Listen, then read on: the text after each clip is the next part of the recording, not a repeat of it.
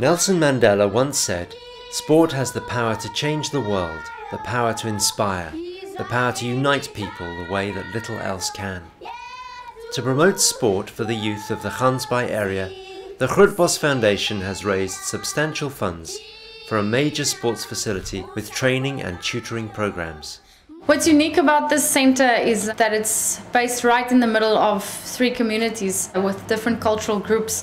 There's no better way of bringing people from different areas or, or, cultural groups together than sport through something they love. It's an excellent way of, of breaking cultural barriers. The children really get a multiple of things out of it. They don't only get to really play the sport that they love, but they also get to learn. And you could see that even mentally they are growing because it's not only about football, it's also about we address uh, societal issues like HIV and AIDS, communal issues, all the problems that yeah, it's not only about soccer. So we are using sports as a way to address all the issues because we know that they love soccer. It's getting them out there to have fun, to interact with their friends, but also with their coaches and, and peer leaders. I've seen the, the, the, kids playing on just sand on streets, but this is completely different. It's more like like a professional thing, and they know that there are some other people who put some money into their education and wants them to learn something because everybody knows that the children are the future of South Africa.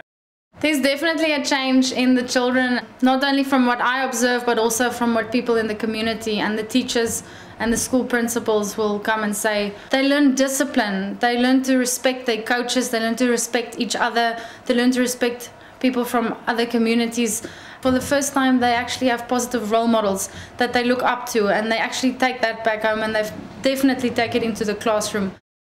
Spaces for Sport, in working with the Football Foundation of South Africa, has provided these children with more than just AstroTurf coaching and kit. It has given them vital life skills and role models for their future. To contribute or learn more about this project of the Grootbos Foundation, visit www.grootbosfoundation.org.